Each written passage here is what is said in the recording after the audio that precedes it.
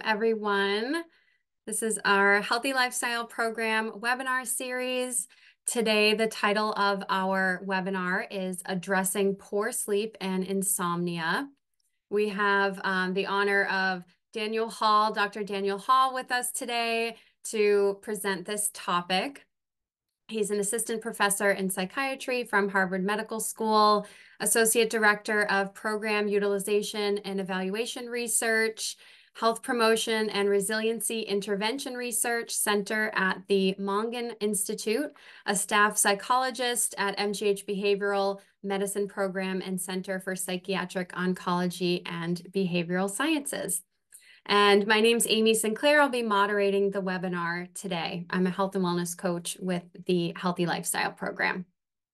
I have a few opening items and then I will pass it to Daniel. So this webinar will be 45 minutes. We're going to do about 30 minutes of the presentation and then we'll do about 15 minutes for Q&A. The webinar will be recorded. Your video and audio are off and cannot be connected. And we encourage you to ask questions through the Q&A feature or by sending a chat to host and panelists. So please send in your questions. All right, so I'm going to take down my screen and I will pass it over to uh, Daniel Hall. All right, thank you so much, Amy. Um, it is a an honor to get a chance to speak with you all this afternoon, and I'm really hoping that through my presentation, it will generate some interest, some questions, and hopefully some motivation for all of you um, who are struggling with sleep to get in touch with resources because at MGH, we're very fortunate to have several available options to follow up on sleep and sleep related concerns.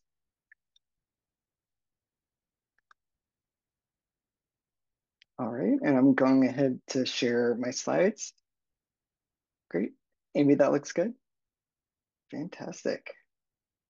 Uh, I'd like to begin by sharing a little bit of a background about sleep and insomnia.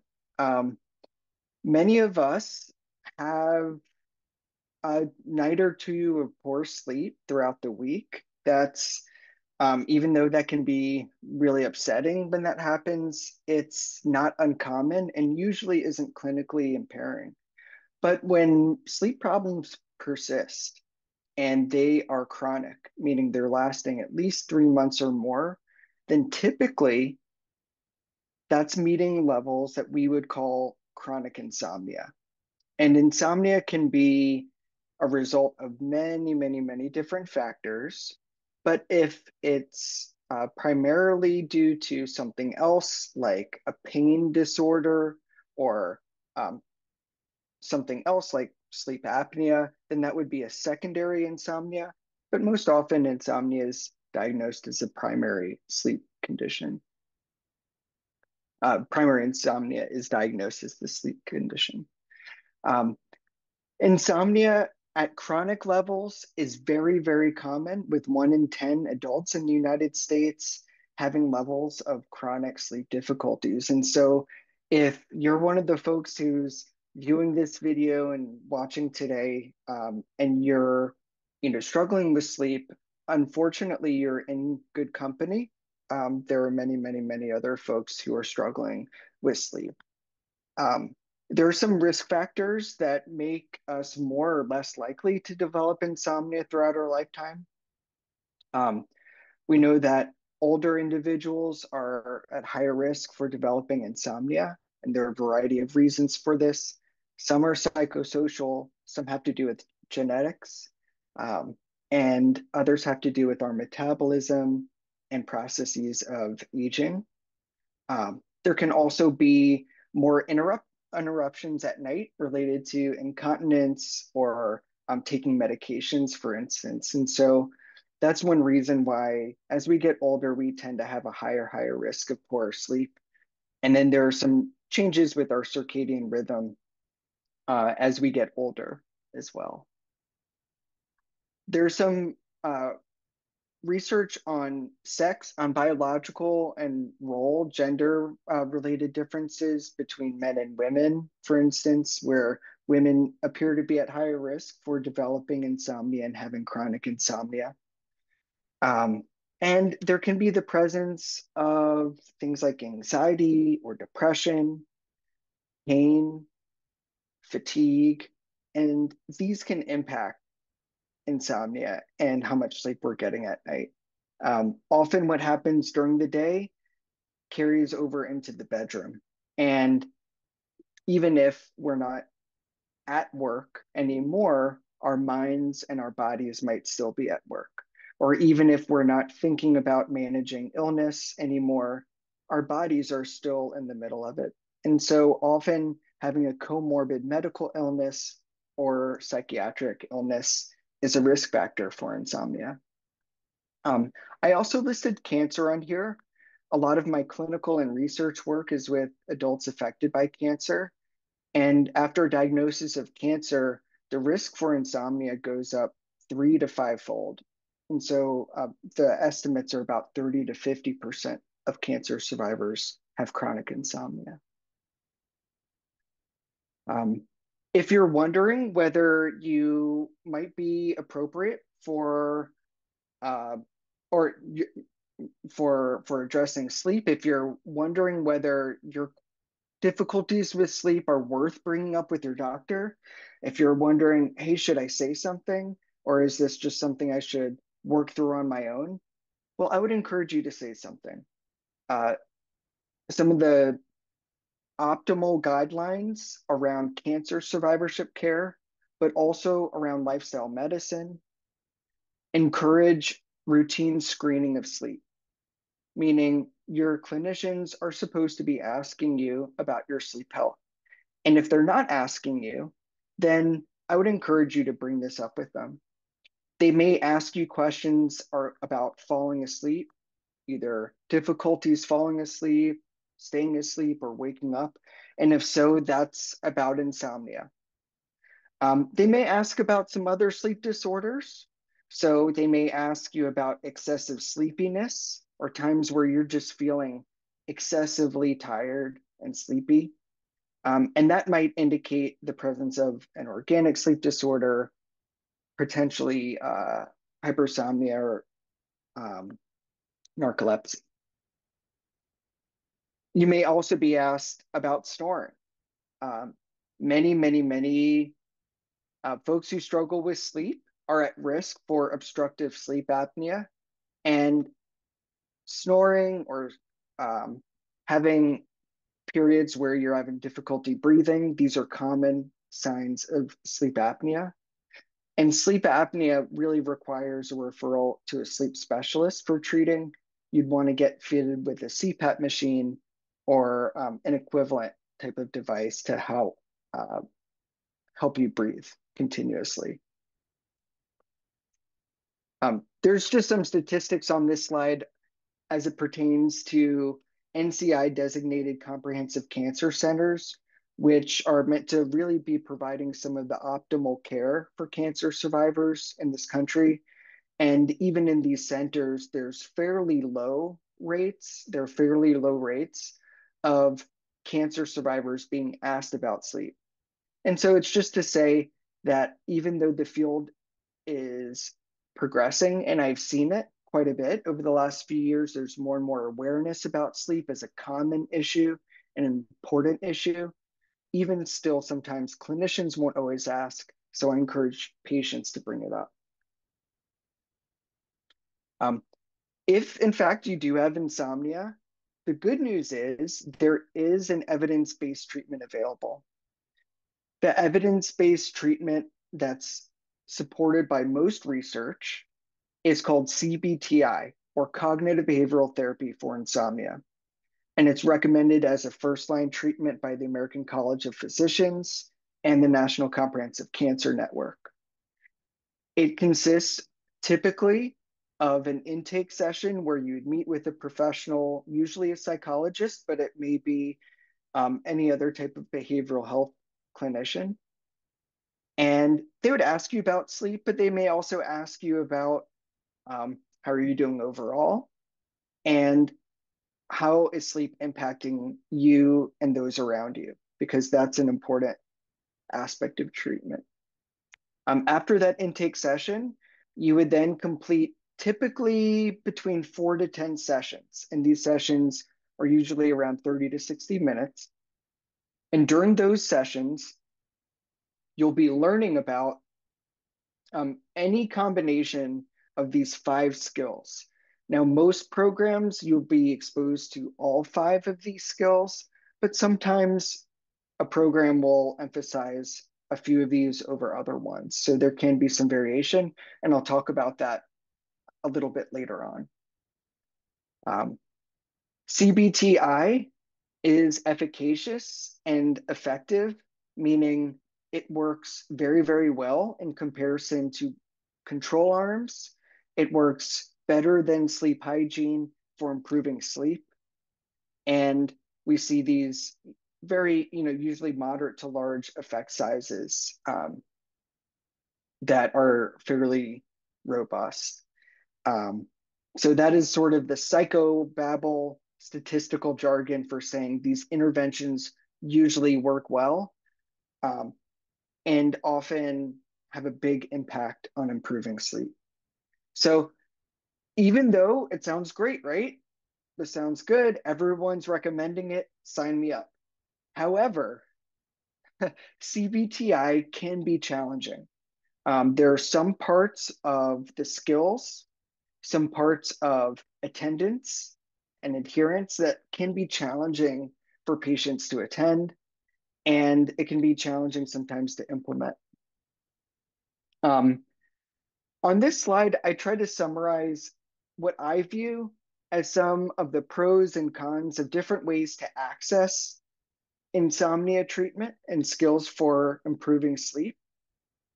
Right now, some of the most common ways and most studied ways to receive CBTI are either in person on the left or remotely using apps and websites.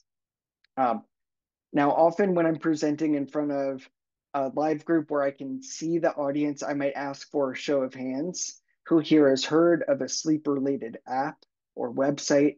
And more and more and more these days, I see hands going up. People are aware that there's sleep related apps out there. Um, and these apps have enormous um, pros and cons. So, just to walk through very quickly, um, you know, in-person care is fantastic. We know that the research um, shows that the highest effects, the biggest improvements so far have come from um, in-person delivery types of programs where patients get, you know, that rapport, a lot of tailoring. And oftentimes when we start talking about sleep, we uncover other things going on in someone's life and fears or concerns that might require tailoring. Um, however, there are some major logistical concerns and constraints. Uh, for many, many, many folks, it's just not practical to travel downtown or to a, a clinician who is, you know, trained in CBTI. Um, and it can be very, very hard also if you're managing a medical illness to um, maybe even physically to be moving around and it can take extra energy and cost. So there are some challenges with this and there aren't that many trained CBTI providers, although that's increasing. There are more and more providers these days. Um, and certainly around Massachusetts, we have a network of CBTI providers throughout the state um, and, th- and in MGH specifically. But in general, this is often a, a, a major challenge. Um, apps and websites can be a wonderful introduction to learning some of the skills I'll share in a few slides, but you know they don't offer the same type of tailoring, the ability to learn about you, your unique patterns of sleep, and if you're having any preferences from the past, um, you know these are often a more of a cookie cutter type of approach. And uh, there's some research that they don't yield quite as large an effect on improving sleep.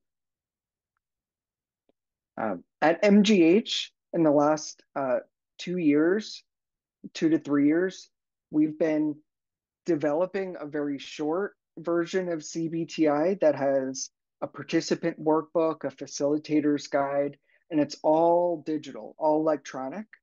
Um, and it's meant to be a little bit of the best of both worlds of the in-person where um, in person and the on the left and then uh, accessing remotely on the right if you might remember here in this program we offer virtual therapy where you meet with a therapist in real time you meet with them over zoom and they would work with you over four sessions to learn each of the five skills and give you an opportunity for getting that one-on-one attention that we know uh, can be really, really important.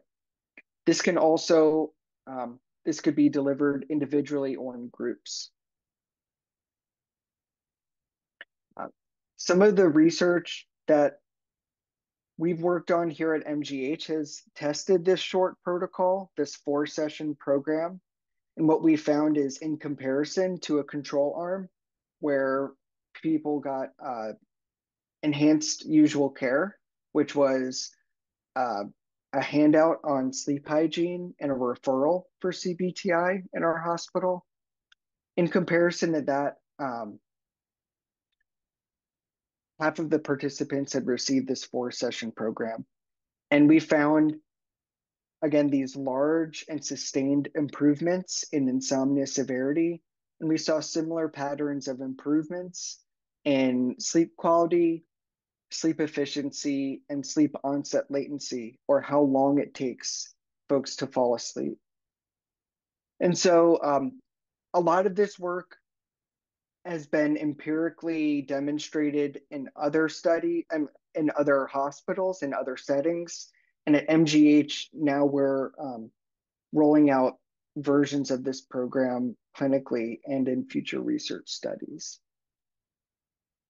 So I'd like to shift their attention now to providing an overview of the five core skills of CBTI. And this is meant to be just an introduction for each of these skills. To really do them justice, I would probably require a lot more time. And uh, there are nuances for each of them I may not have a chance to fully address, but I just wanted to provide an introduction. So the very first skill of CBTI, cognitive behavioral therapy for insomnia, involves stimulus control or improving your stimulus control. And what this concept is based on is the principle of conditioning.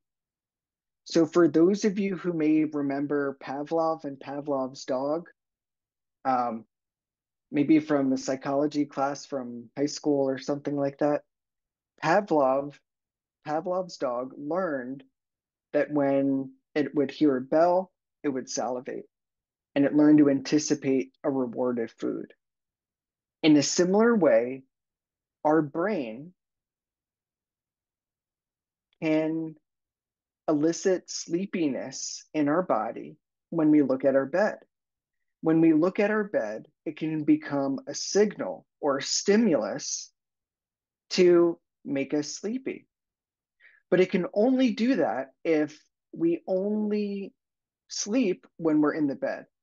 Once we start doing other things in bed, then the bed no longer becomes a stimulus to make us feel sleepy. So, what we try to do is make sure that every time you look at your bed, you get really, really sleepy.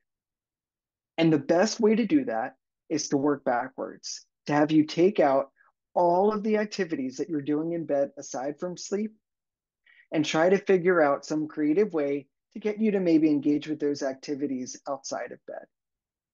So again, there are some nuances to this skill, but that's the overall principle.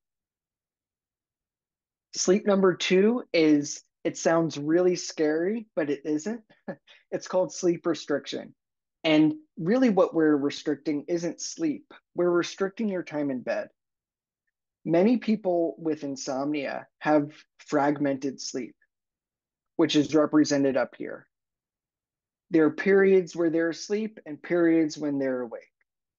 And this isn't ideal for a lot of reasons, including it makes it harder for you to cycle through restorative and those deeper stages of sleep that can be so helpful for our immune system. Um,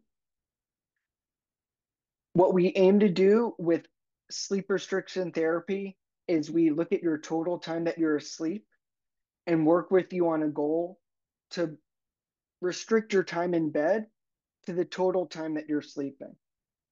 And we'll gradually, gradually, gradually increase your time in bed as your body has learned to maintain sleep con- continuity or continuous sleep.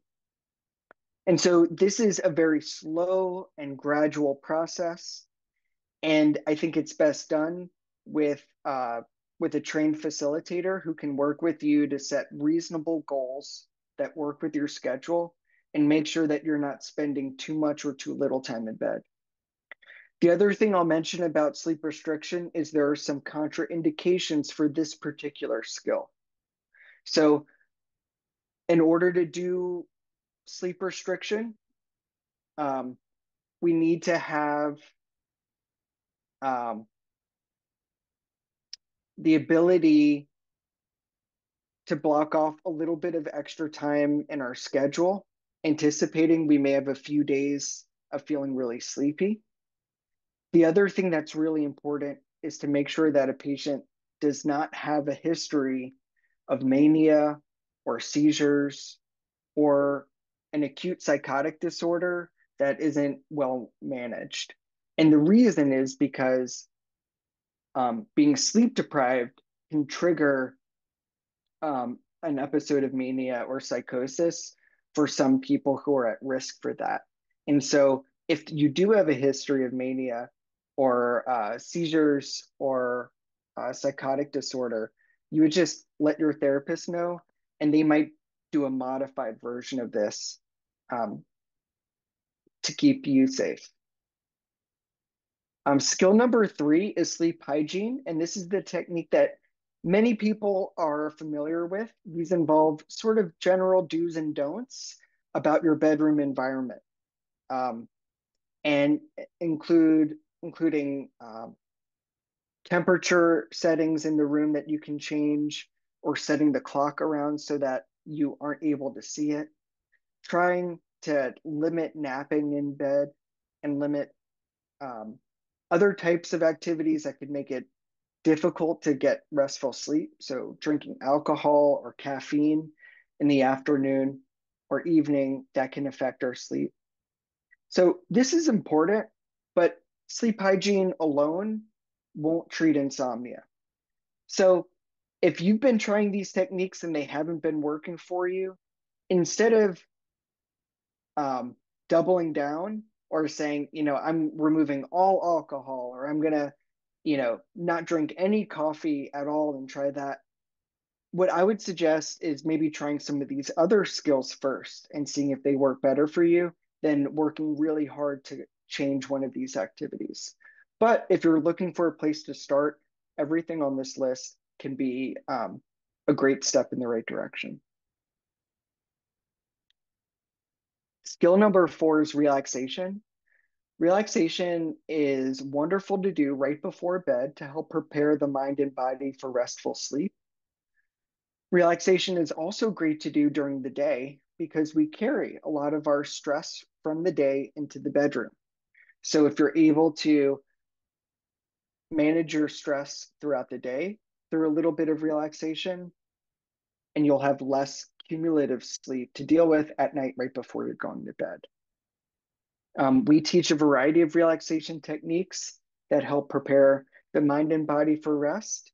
And there are different ways that relaxation practices work, but they work wonderfully. And actually, even if you only did relaxation and no other skill that I'm talking about today, you probably find benefit in insomnia relaxation training alone works better than controls, control arms um, in randomized control trials. So this is a powerful technique to use.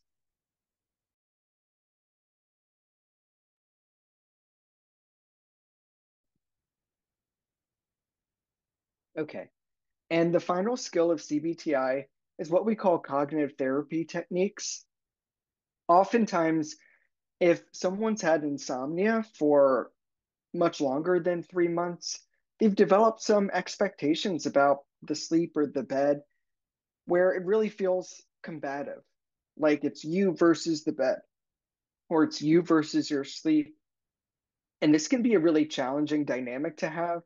Often we enter the bed um, with certain fears or expectations about sleep. So we try to address some of those mis- misconceptions about sleep or maladaptive or unhelpful ways of thinking about sleep.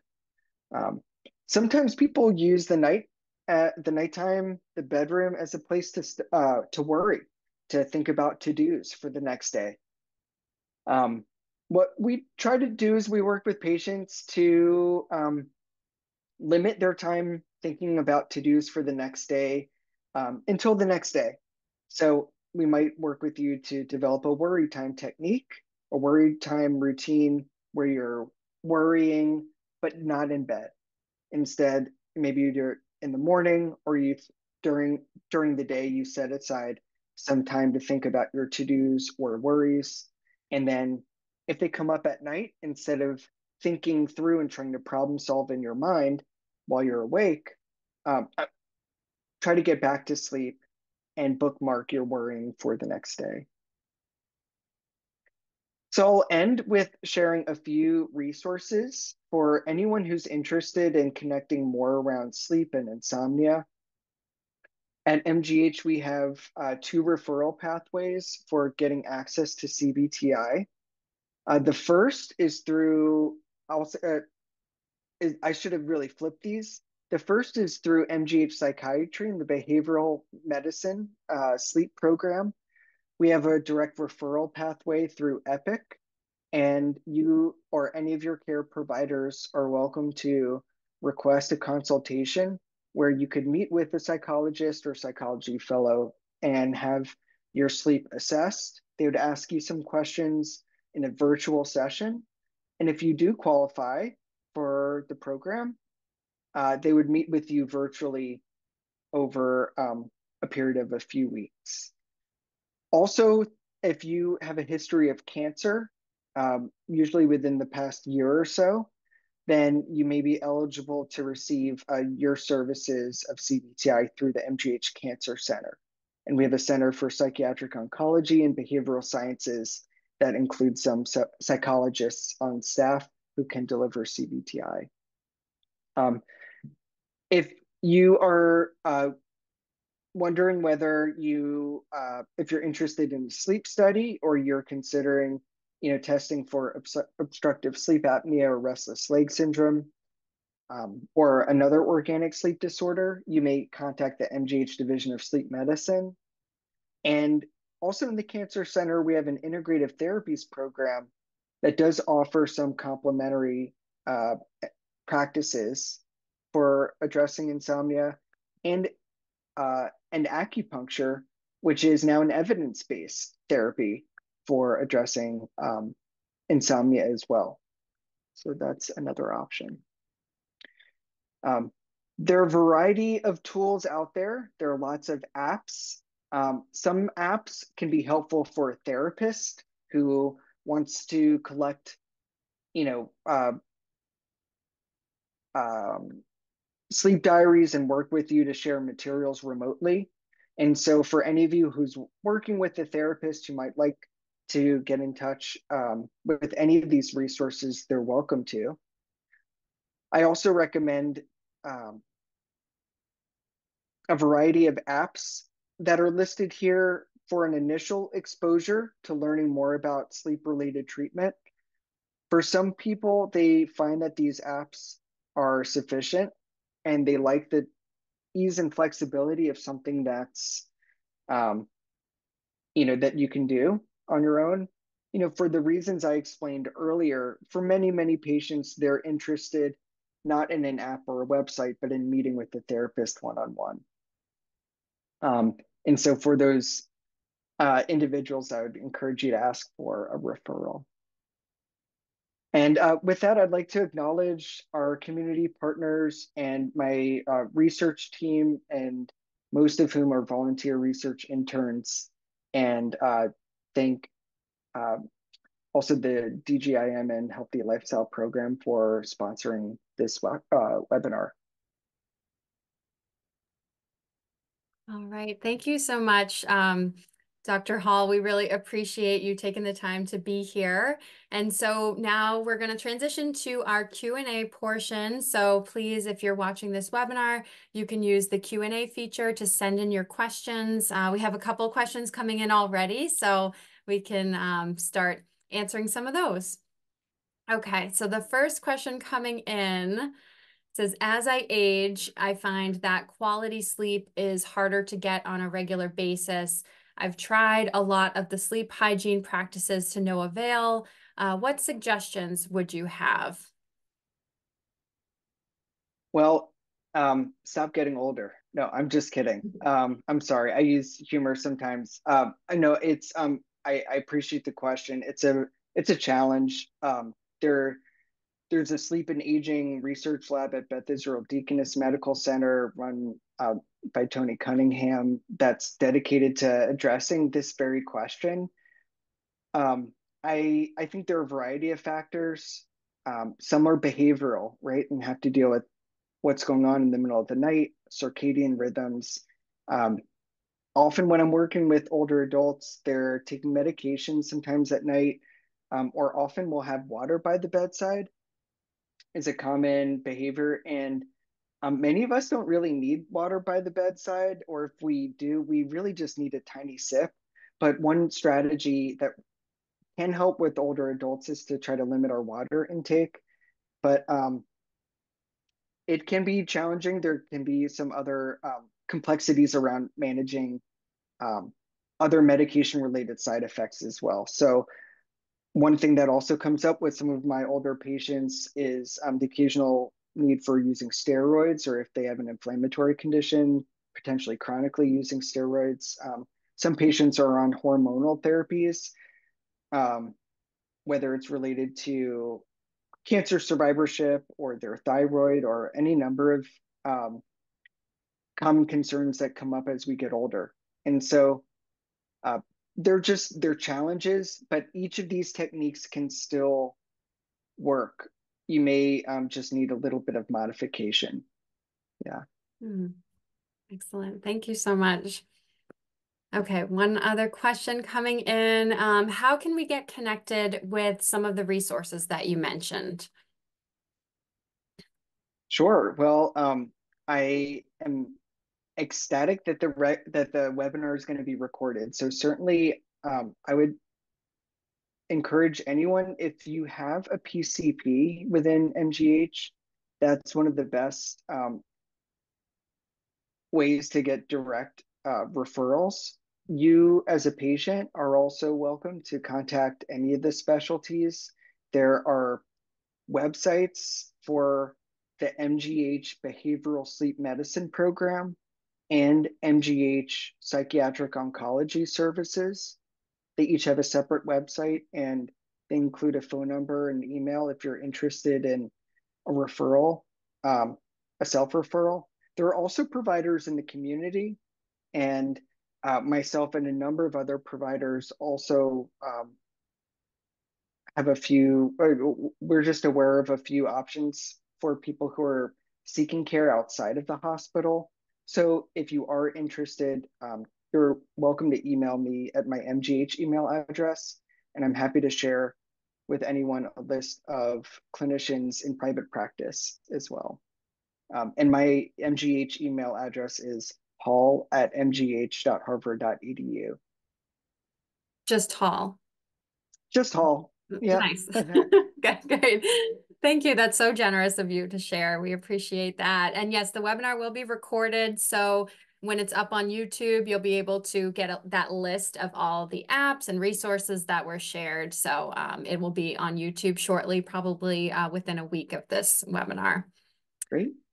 Okay, so we have another question here. Um, it says, I have no trouble falling asleep, but wake up after four to five hours. The strange thing is, I'm totally refreshed and not tired. Um, after a couple of hours, I sometimes fall back asleep. Um, but the person here is noting that they don't really feel tired. All right. Well, you know, there so there's a range for each of us. Um, some of it is genetic, is my understanding, but we, you know, our guidelines for seven to nine hours of sleep, there some people will need less sleep. And it sounds like potentially the person, you know, that that that for you, um, this this may be the case. Maybe you require less sleep. Um, you know, if you're finding yourself falling back asleep after a few hours, um, there's a chance that even if you feel alert, you'd benefit from retraining your body to have all of that sleep consolidated into one segment. But um, it sounds, it, you know, so I, I've, I've worked with someone um, whose optimal sleep was four hours, and I was pretty skeptical. Usually, the minimum um, that we would work with someone around is about five hours or so in bed. And so, um, but everybody can be a little different.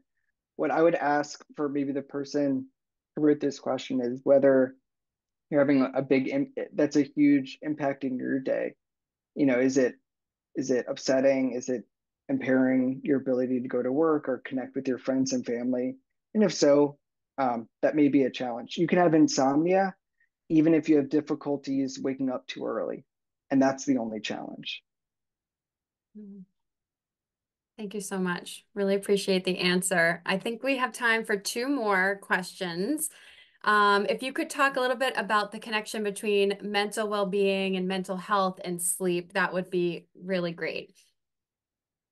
Sure. There's a huge, so sleep is one of those um, concerns that is about the body and it's about the mind. Um, sleep and sleep quality is really self-reported. Um, and it's one of those areas, just like similar to pain, similar to fatigue, there's a subjective experience of our sleep and how we report on it and how we experience it. And so there's a lot of overlap when it comes to depression and anxiety. Um, there is a lot of comorbidity, meaning patients with depression um, are at high risk for developing insomnia, and patients with insomnia are at high risk for developing depression.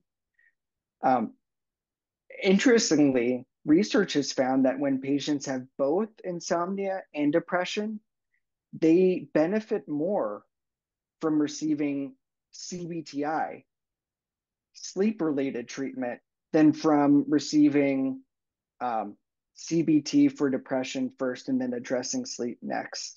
And so sometimes I think when you're overwhelmed or feeling anxious, feeling stuck, feeling depressed, um, it can be really, really difficult to focus on changing your thoughts and other patterns of your life but working on your sleep can feel concrete and, and actionable.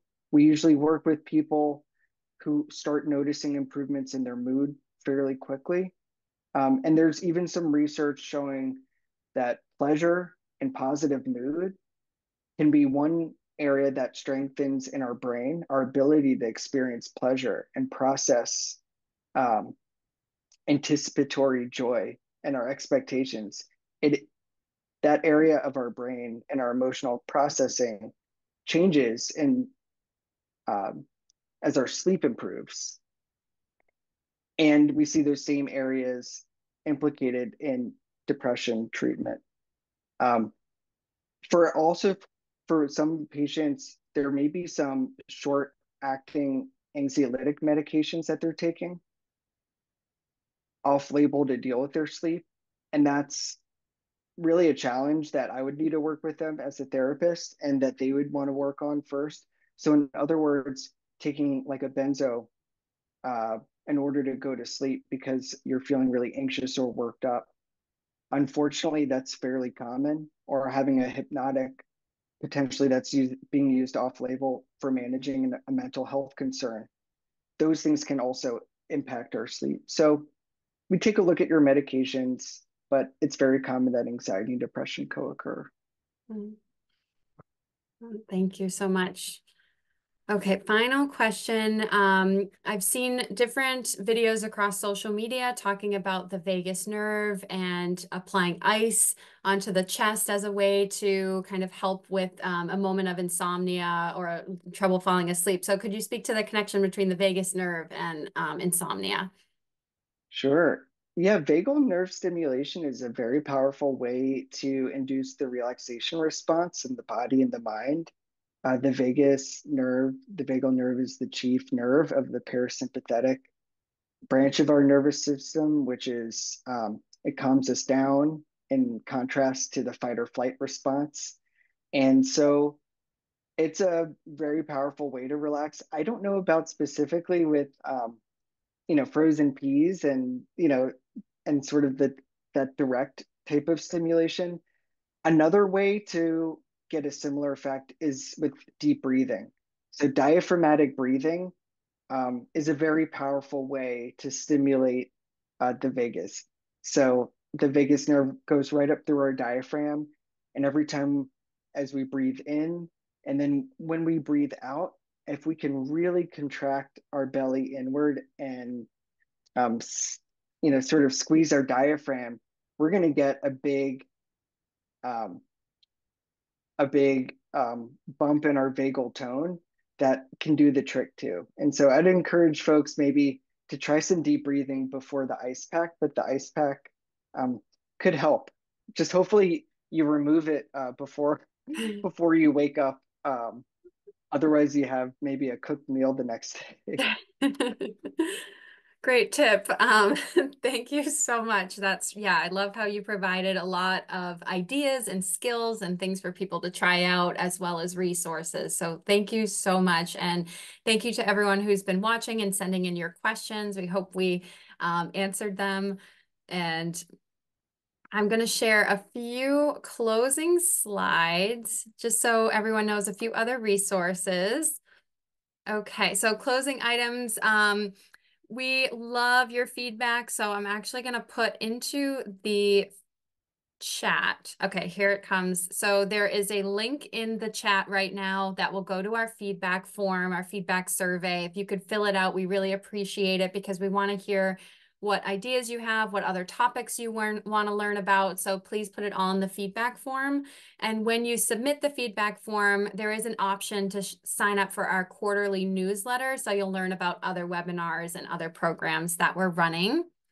And we also um, run virtual group visit programs and so I wanted to just share a snapshot of the schedule here. So when you fill out the feedback form and you click submit, it's actually going to link right to our website as well. And let me actually put our website right into the chat, grabbing the link. Okay, so here's our Healthy Lifestyle Program website. So you can see here we have different topics. We have stress reduction, um, pre-diabetes, hypertension, and so on. We have brain care, we do have some groups on sleep. This is just a snapshot here that I wanted to share. So lots, lots of resources um, that you can take advantage of within the MGH system.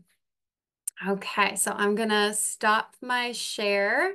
And again, I want to thank um, Dr. Hall for being here with us today. Thank you so much for sharing all of your valuable information, your resources, your skills. All of that is super valuable for our patients. So thank you so much. Thank you so much for having me and uh, for raising awareness about sleep. All right. Take care, everybody.